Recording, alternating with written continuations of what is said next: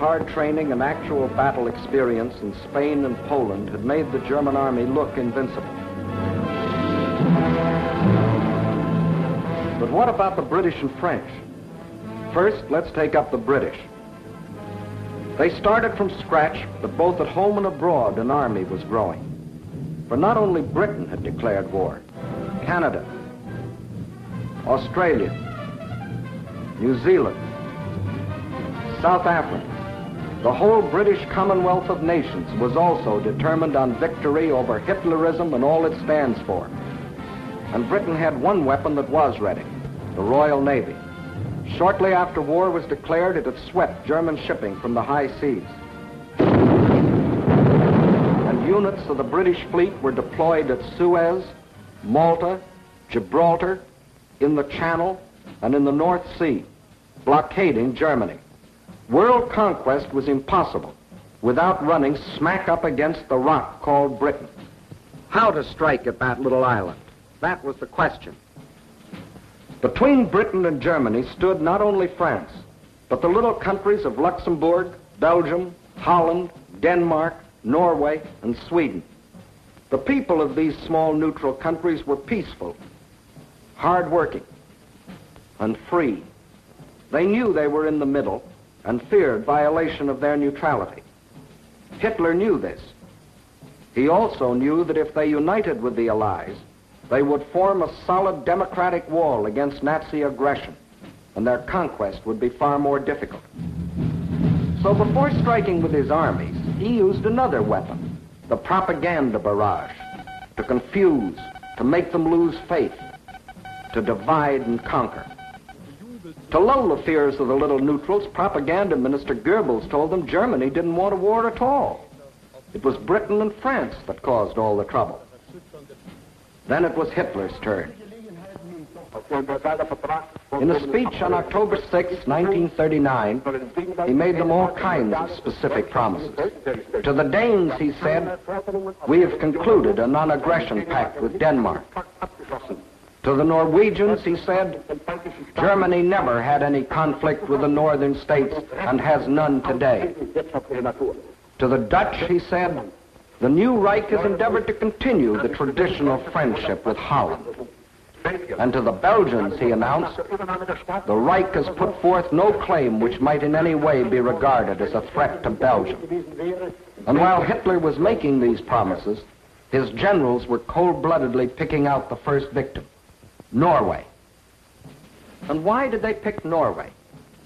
Its many steep inlets or fjords would make excellent U-boat bases from which raiders could prey on British supply lines.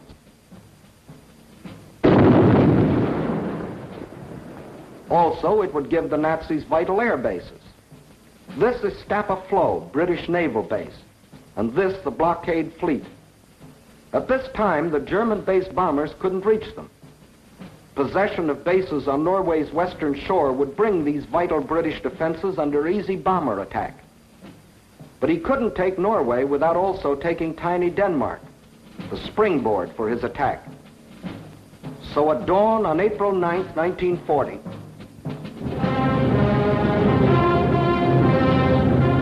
the German army rolled across the neutral borders of Little Denmark, and in a matter of hours it occupied the entire country. By nightfall, Denmark is erased as a nation, and the Danes go into slavery. Although only six months before, Hitler had announced, we have concluded a non-aggression pact with Denmark. The Danes will not forget.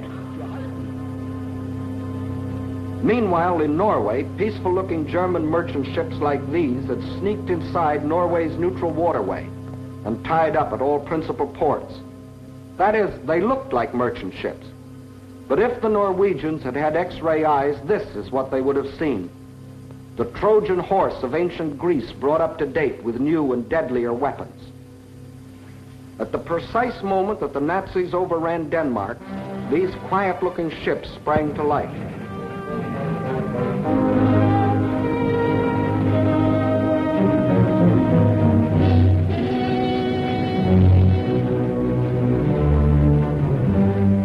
Same time, Nazi warships, discovered along the entire coastline, started steaming up the Norwegian fjords.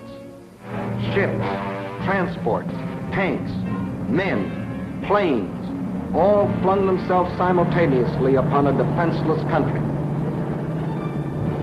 Airborne infantry seized every strategic Norwegian airport. The whole job was made easier by treacherous fifth columnists, led by Major Quisling, who seized power and issued orders to suppress resistance. Nazi warships steamed past silent guns that could have blasted them out of the water. This was one of the most amazing acts of treachery the world has ever known. It brought Major Quisling international fame, making his very name synonymous with the word traitor. By the afternoon of April 9th, the Germans were in complete control of all seven ports where they had landed in the morning.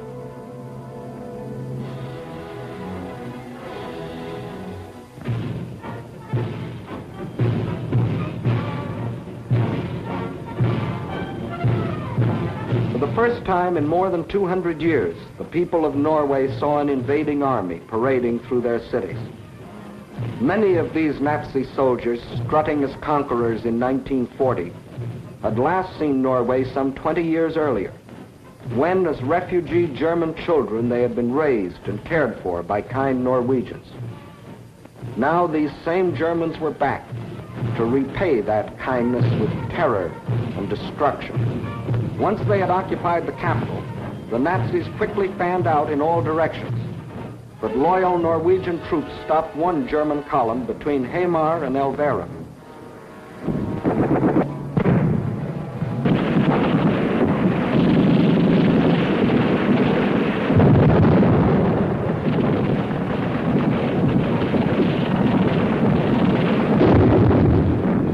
So the Germans brought up their bombers.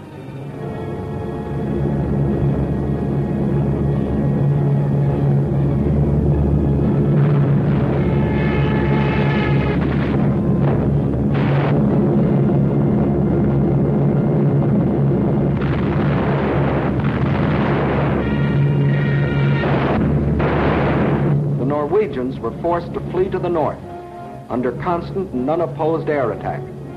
It was here that Captain Robert Losey, an American military attache, was killed, the first American soldier to lose his life in this war. Meanwhile, the Nazis had spread all over the country. Small patrols occupied every strategic village. Parachute troops landed high in the mountains.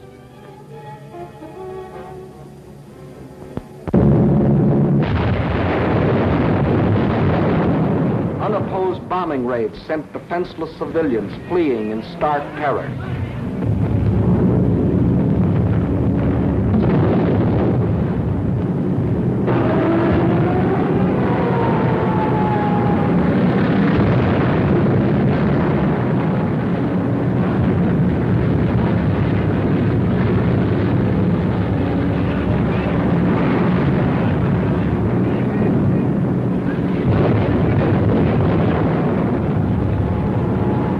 They hadn't wanted war.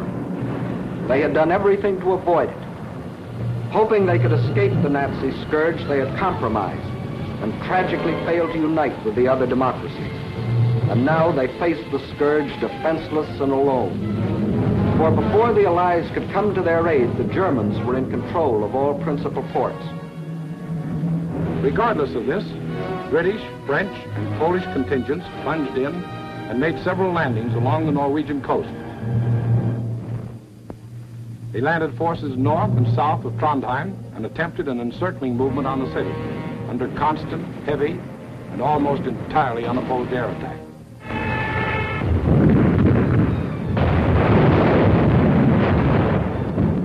Well, the scene of action was out of range of British fighter planes.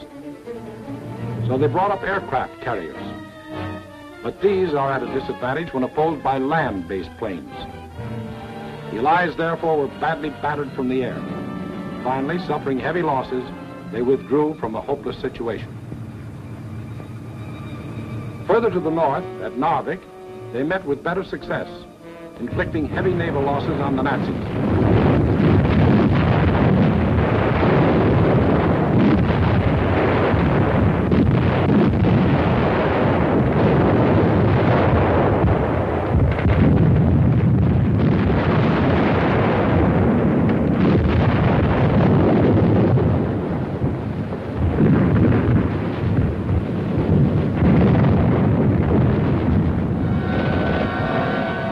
They made landings and held the town for nearly two months.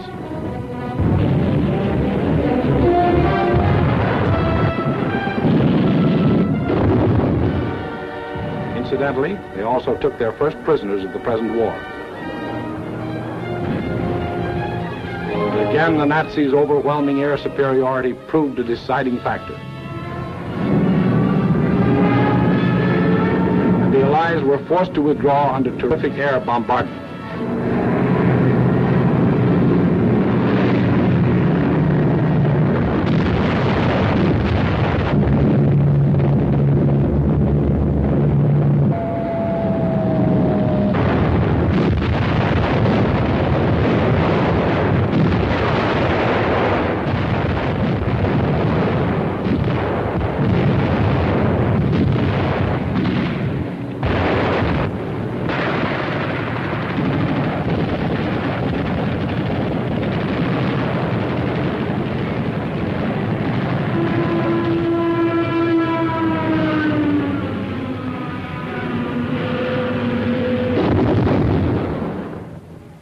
Loyal Norwegians were left with their quislings, their ruins, their dead. Even though six months before Hitler had said, Germany never had any conflict with the northern states and has none today. The Norwegians will not forget. and Hitler. Hitler had another victory. He had hijacked two more countries. The world wondered and sometimes marveled at this man's efficiency. Gangster Dillinger was efficient too.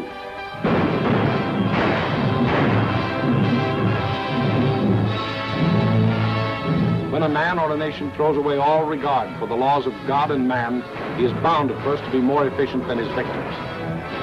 Society had a police force to deal with gangster Dillinger, but it had no police force to deal with gangster Hitler. So he clubbed Norway into submission and got what he wanted, bases for use against Britain. Now he had the northern claw of an enormous pincer movement. A drive through France would give him the southern claw. Blockade by U-boats coupled with mass bombing attacks would weaken the British for final invasion. Then, with Britain gone, Germany could reach out in all directions for world conquest.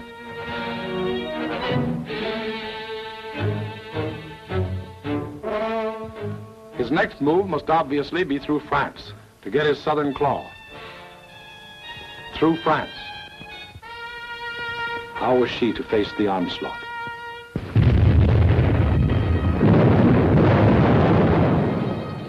These scenes are ancient history. They occurred in 1914. The German armies, without warning, had smashed across neutral Belgium, invaded France, reached the River Marne only a few miles from Paris. Out of the French capital poured the French reserves, riding out to battle the enemy in every vehicle that could move. The famous taxicab army. Note well, it was riding out to battle.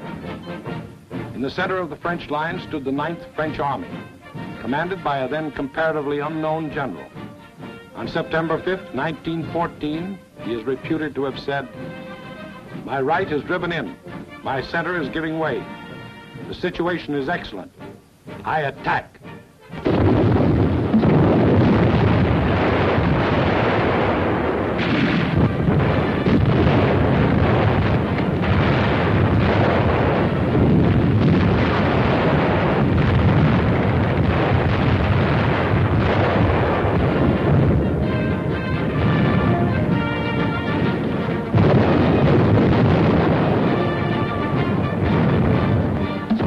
Did attack. The German onslaught was checked, and Paris was saved. That comparatively unknown general later became commander-in-chief of all the Allied armies and presided at the signing of the armistice with the defeated Germans on November 11, 1918. To this general, the French people erected a monument. To Marshal Ferdinand Foch, whose motto was, attack, always attack. Still later, the war-weary French people erected another monument. This one to a minister of war, Andre Maginot. Between the ideas symbolized by these two statues may well lie the military story of the fall of a great nation. In Foch's time, the proud spirit of France demanded nothing less than victory and placed its faith in the attack. In Maginot's time, the spirit no longer proud asked only to avoid defeat and placed its faith in concrete.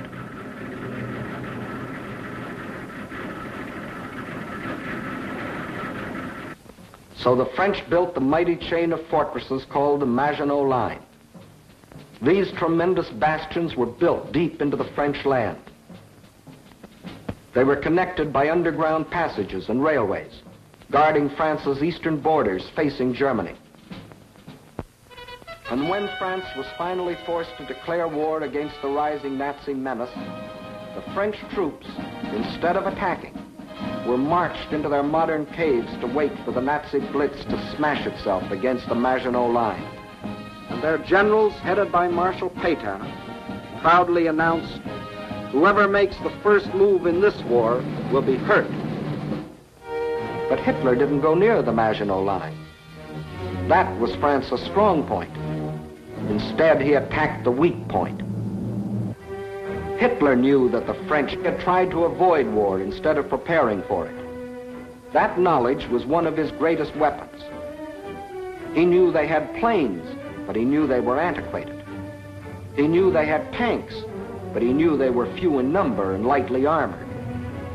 But most important of all, he knew that France had become a cynical and disillusioned nation.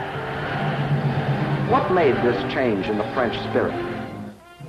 In the first place, between 1914 and 1918, the French suffered more than six million casualties in the heroic defense of their land against German invasion.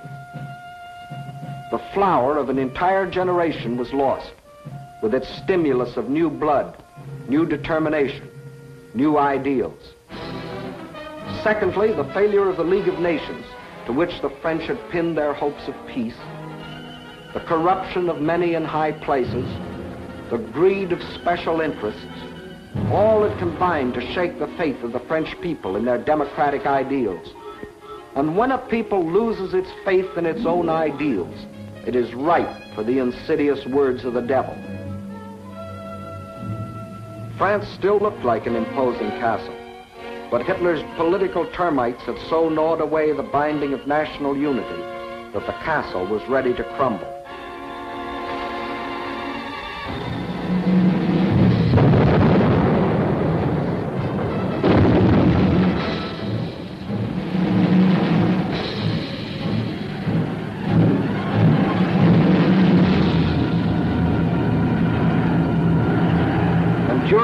Months of military inactivity that we call the phony war.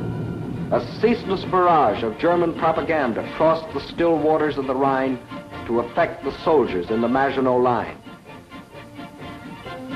Why do you fight? asked the banners. Poems and friendly notes were sent over by balloons. French tunes were played by German bands and German hooey was broadcast in French.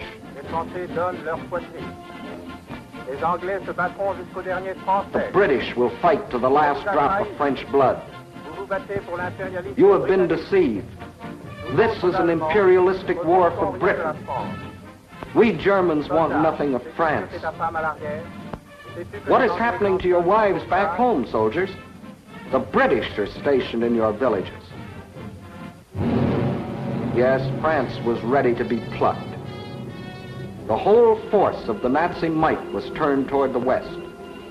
How would they strike this time? Through Alsace-Lorraine as in 1870? Through the Low Countries as in 1914? What was the 1940 model conquest? The French considered the Maginot Line utterly impregnable and therefore believed the Germans would again try a swing through the Low Countries as in 1914. But even after Hitler's rape of Scandinavia, Holland and Belgium, hoping against hope, still clung to their neutrality. So the French massed 78 divisions here along the border of Belgium. 17 were in the Maginot Line. 10 divisions here in case Mussolini got bold. Three and a half as a safeguard against Spain. The British had 10 divisions here.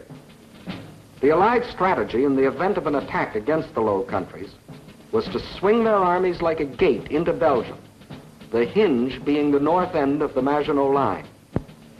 This all-important hinge was protected by the forest of the Ardennes, a hilly and thickly wooded area, honeycombed with streams, its roads narrow trails, its bridges too weak for military vehicles. French strategists estimated the forest of the Ardennes impassable for armored forces. As you will see, this was one of the costliest estimates in all military history. That was the situation on May 9, 1940.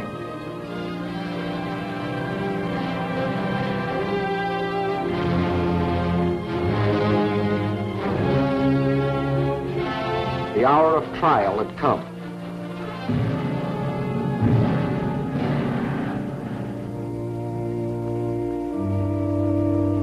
People of the democracies prayed for strength to meet the coming hurricane of terror.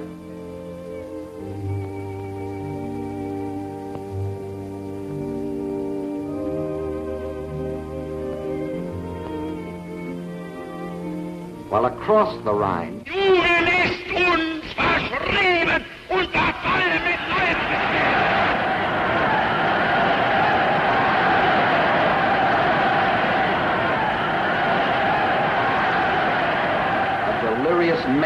possessed the German nation.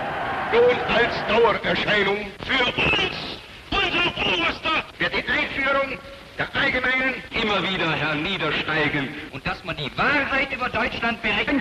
50.000 Mann auf den Baustellen, der ganz Deutschland erfasste. Überall herrscht seit einem Jahr Regen. Und für den deutschen Ex. Die Reinheit seiner Rasse. Hitler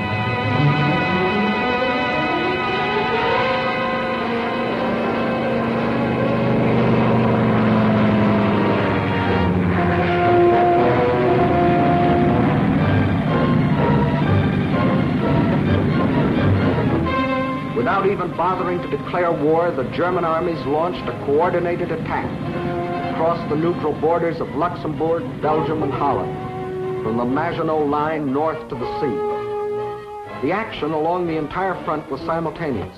So for purposes of clarity, let's take up one country at a time.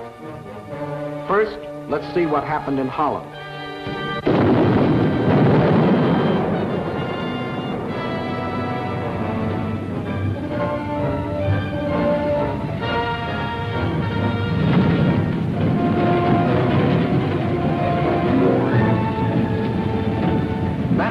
Ground forces smashed through the improvised and hastily erected border defenses. But the main attack was to come from the air, far behind the defense lines.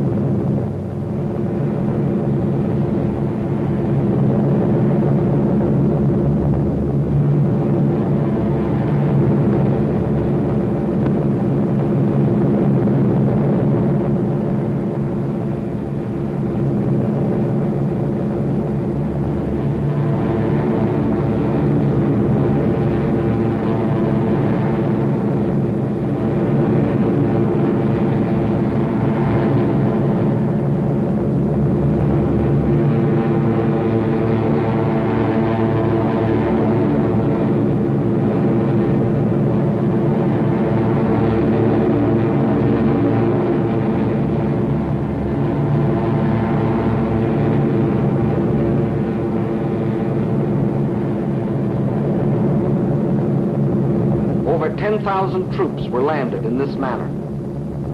Before the stunned citizens of Rotterdam even knew they were at war, these troops, aided by well-trained fifth columnists, quickly captured the airport and outlying sections of the city.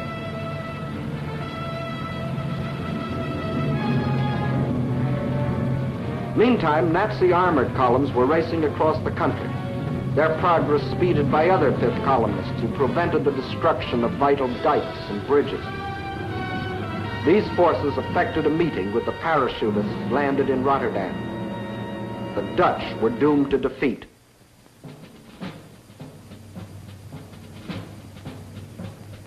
On the fourth day of the invasion, the Nazis gave the Dutch general an ultimatum. All Dutch resistance must cease, or Rotterdam will be bombed flat.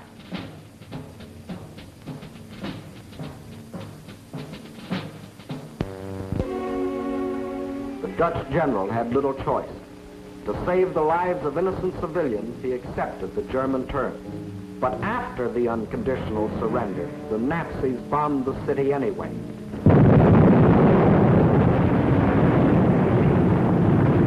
Flights of unopposed German bombers flew low over the center of Rotterdam and methodically bombed it into a heap of rubble.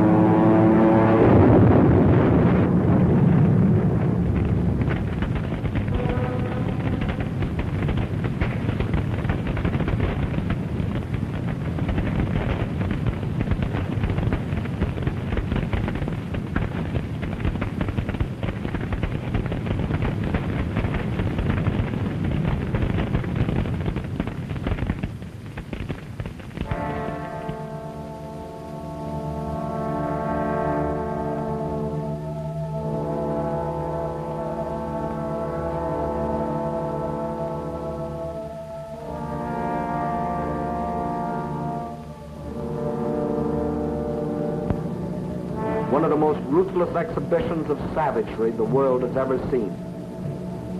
Over 30,000 men, women, and children were killed in the space of 90 minutes. Though only six months before Hitler had said, the new Reich has endeavored to continue the traditional friendship with Holland. The Dutch will not forget. Meantime, in Belgium, the whole force of Nazi blitzkrieg had stormed across its neutral borders.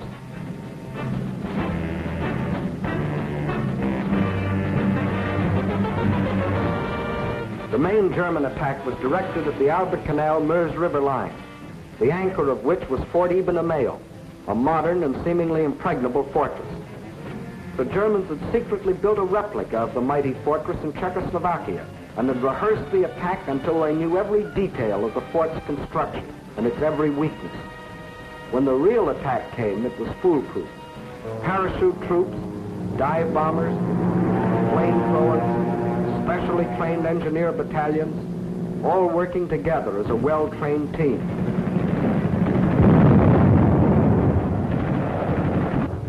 They knew exactly where to cross the river.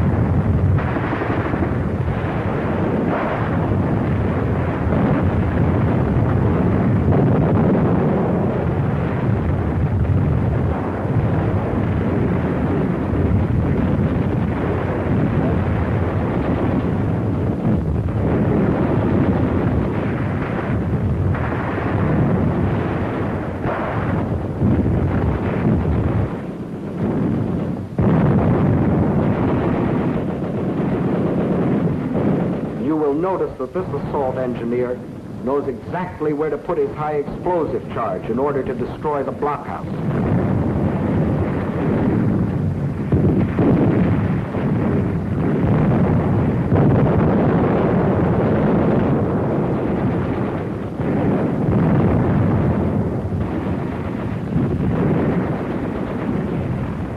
Fort Eben-Emael withstood the Nazi attack exactly two days, and the German armies rolled on.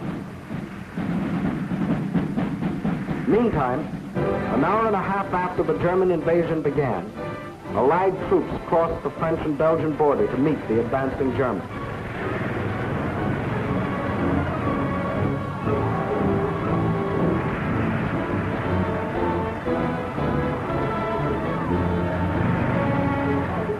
As they raced across Belgium to take up their defense positions, they met an obstacle they hadn't counted on. Refugees.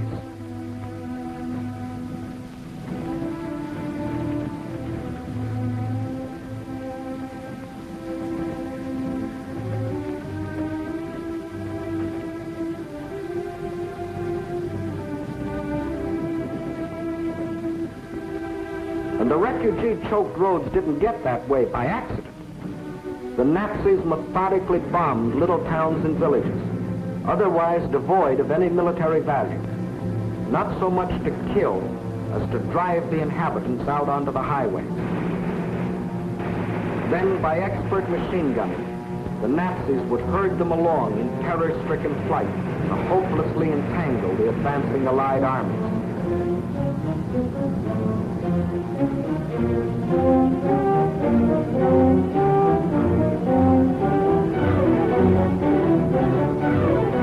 Refugees used as a weapon of war, a new low in inhumanity.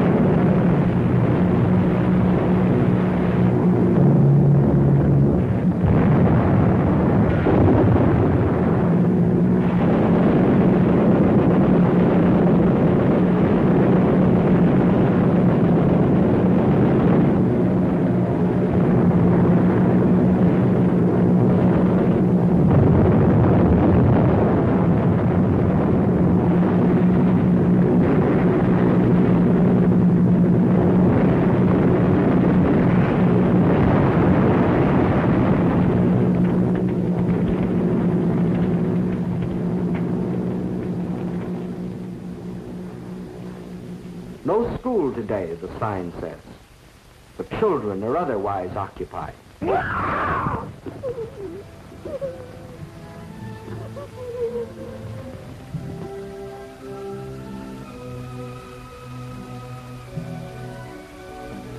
No, no school today.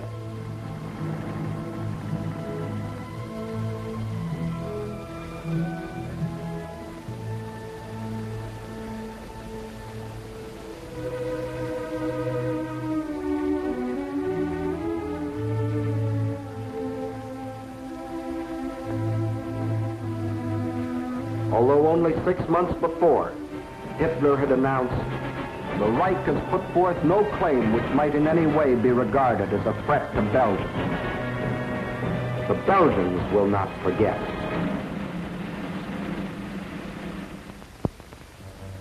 And what about the Allies? They were convinced that the German attack on Belgium and Holland was the main thrust, and according to plan, had swung their armies like a gate into Belgium.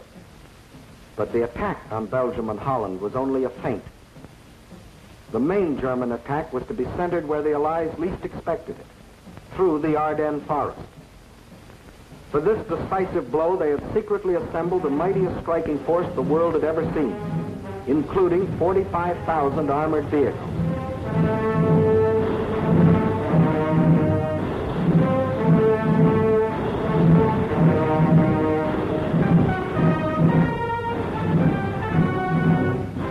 Same time that the Nazi armies were plunging into Holland and Belgium, this column started to move.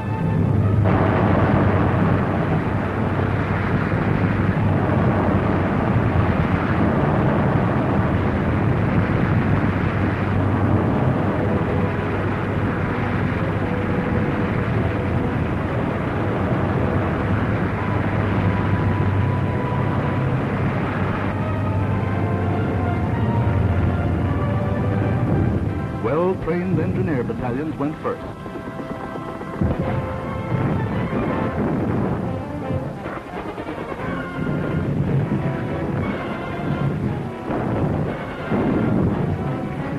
They were opposed only by scattered Allied patrols.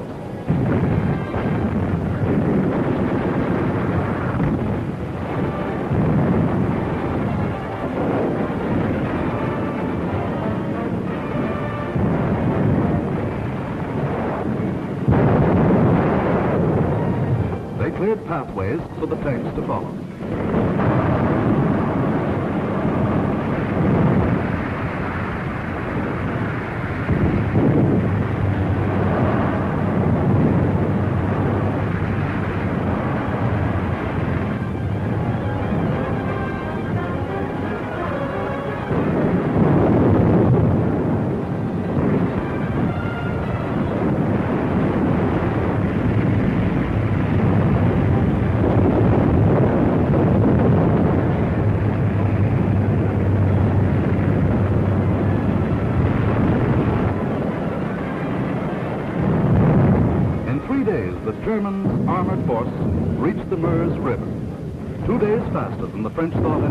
Could get through. By all rules, the Germans should have paused here to bring up heavy artillery before attempting to force the river. But the Nazis had a new type of artillery, dive bombers. Then they blasted the French positions across the Meuse.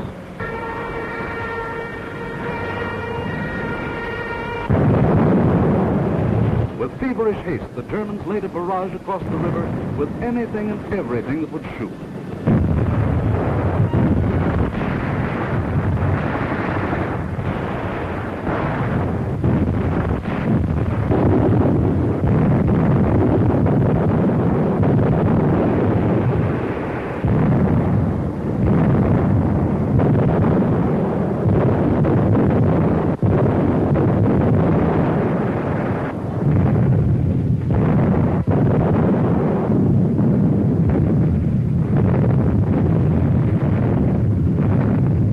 This tremendous concentration of firepower continued all through the night.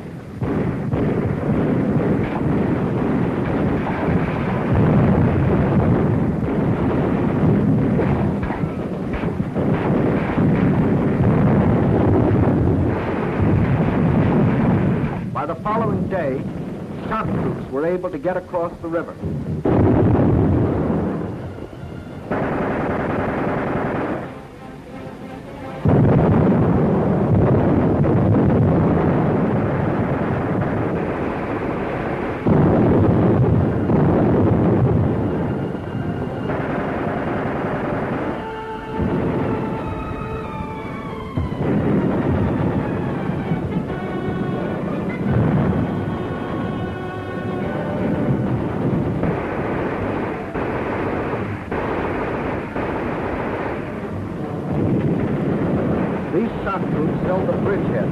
Engineers brought up pontons and built bridges.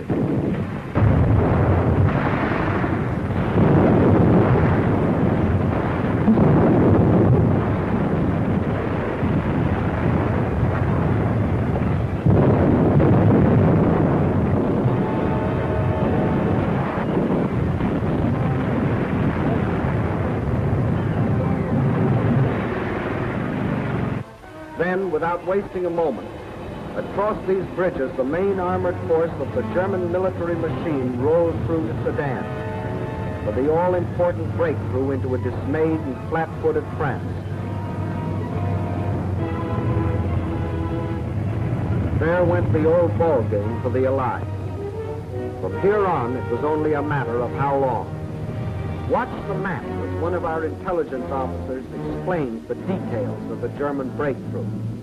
Speak of the breakthrough at Sedan, but actually the break was along a wide front extending for 50 miles from Namur in Belgium to Sedan.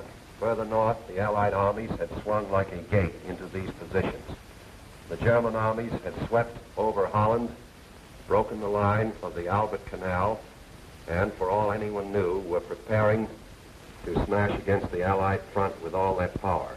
That was the situation, dangerous but obscure, on the evening of May 13th. On the 14th and 15th, it became clear that the German breakthrough south of Namur was in the greatest strength, and that the French Ninth Army, attacked while moving into position, had been shattered. Without doubt, this was the point of mortal danger, and the French High Command ordered the abandonment of these positions, although they had not yet been attacked. Those positions were abandoned solely because of the situation developing along the Meuse near Sedan.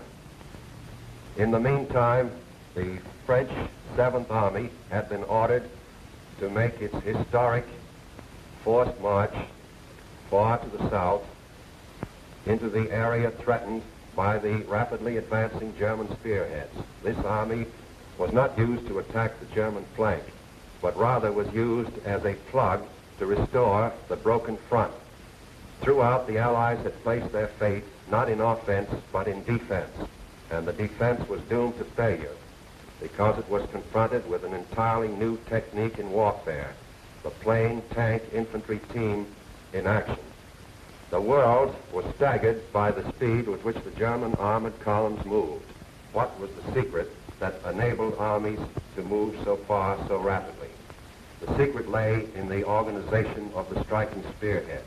Armored forces came first, closely followed by motorized divisions, which peeled off forming solid walls. And through the corridor thus formed raced the supply trucks to feed the ever-lengthening column. It was obvious that if the Allied situation was to be restored, the German column would have to be cut. On May 17th, General de Gaulle attacked the German flank and captured a few prisoners but his light mechanized forces were like a pin pricking the side of a rhinoceros. A subsequent attack met with even less success. The means for a really successful counterattack against the German corridor simply did not exist. Where numbers of divisions were required, only handfuls of companies and battalions were available. A valiant attempt to cut the German corridor was made by a group of slow-moving British tanks just south of Arras. But lack of sustained striking power doomed this valiant unit to destruction. On May 21st, the German spearhead reached the channel port of Abbeville. Protecting their flank along the Somme, the Germans fanned out to the north and east. This was to be the perfect battle of annihilation. On May 28th, the Belgian army, compressed into a small space and weary of battle, laid down its arms. That left the desperate French and British defenders with their backs to the sea at the small channel port of Dunkirk. One of the greatest disasters in history seemed in the making. An entire British army faced annihilation. But out of the fog and the mist shrouding the channel came a strange armada of navy craft, fishing boats, pleasure yachts, anything that would float. The seagoing people of Britain had come to rescue their army. High overhead, British fighter planes fought the Luftwaffe to a standstill.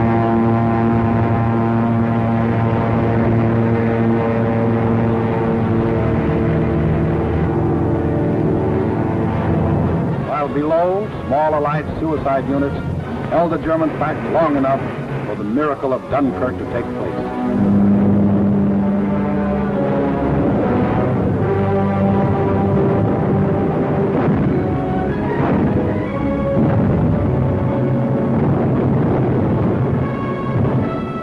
Two hundred and eleven thousand five hundred British troops, plus 112,500 French and Belgian were rescued. Over 300,000 battle-tested men, grimly determined to go back again with new tools, new weapons with which to blast the hated Nazis out of this world. For free men are like rubber balls. The harder they fall, the higher they bounce. Leading the British by this time was a man who had been bouncing all his life, Winston Churchill, who had tried for years to warn the world about Germany. Meantime, the situation that faced France was as nearly hopeless as a military situation can be. Two-fifths of the French army was lost. There were fewer than 50 divisions left to defend a front almost 200 miles long, running from the northern end of the Maginot Line to the sea. And behind that thin front line, there were no reserves.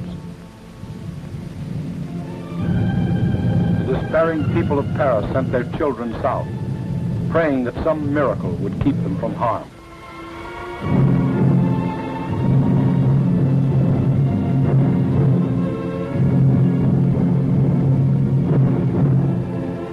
The hopeless men of the French army, without adequate arms or equipment, braced themselves for the coming blow. The first blow fell on June 5th. The French resistance was determined, but by June 8th, the left flank army had been shattered and a general withdrawal was ordered to the line of the Marne and the Seine. On June 9th, the German main attack came. Within two days, the German armored and motorized divisions roared out into the open terrain. With this breakthrough, the issue of the Battle of France was decided, and from that time on, there was official talk of an armistice. Now, what about the famous Maginot Line? Let's go back and take a look. On June 14th, the Germans launched two attacks against the Maginot Line. In both cases, penetrations were effected. But we must remember that this was against fortifications defended by men devoid of hope. In the meantime, Mussolini, now thinking it safe, sent his division racing across the border. The hand that held the dagger has struck it into the back of its neighbor.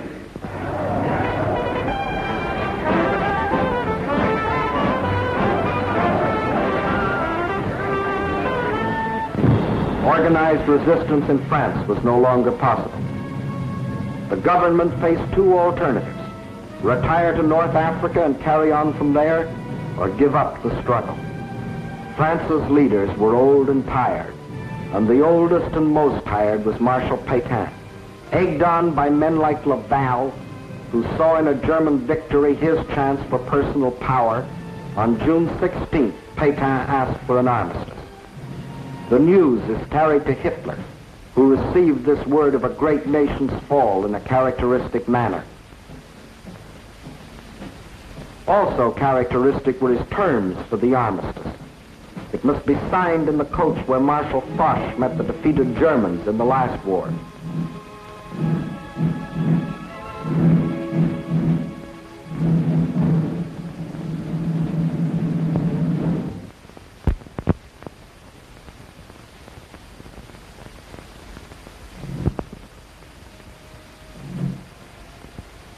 The French delegation arrives to pay the final price of French disunity and the treachery of some of its leaders.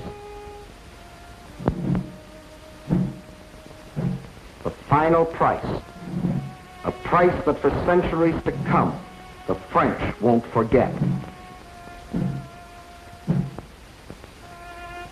More than three-fifths of their country was to be blacked out by a military occupation.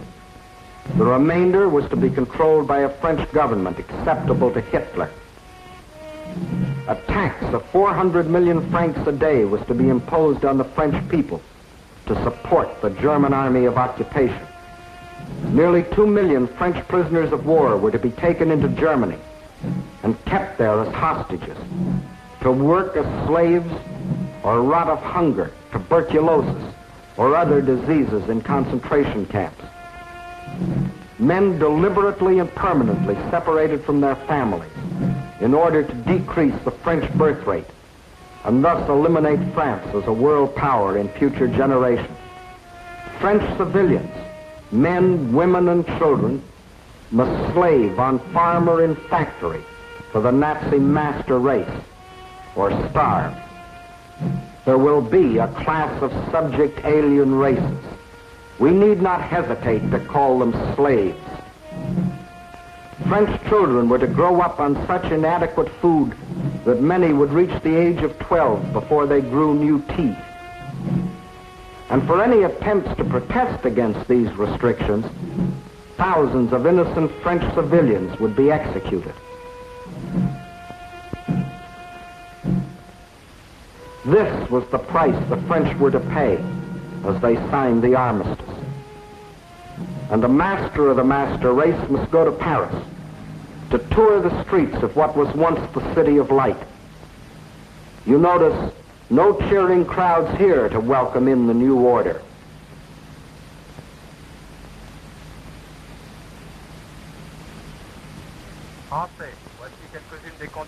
When the people of Paris come to the streets again, it is to hear the voice of dictators telling them what they must do,